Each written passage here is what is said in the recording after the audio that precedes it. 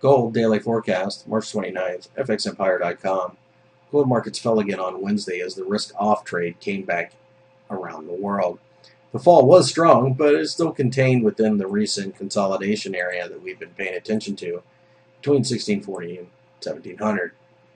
The end of the session did see a little bit of a bounce, but not enough to get us involved quite yet.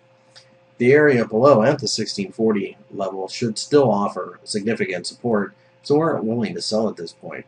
In fact, we are waiting to see supportive action from this latest pullback in order to go long again.